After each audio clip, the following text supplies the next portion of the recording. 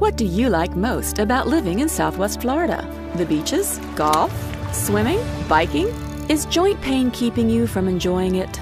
Let Dr. Robert Zehr of the Zehr Center for Orthopedics in Naples help restore your quality of life. The knee and the hip has contributed immeasurably to a return to normalcy. The quality of life is a thousandfold better. My lifestyle now is back to what I've always dreamed. Call the Zehr Center today because living with pain isn't really living.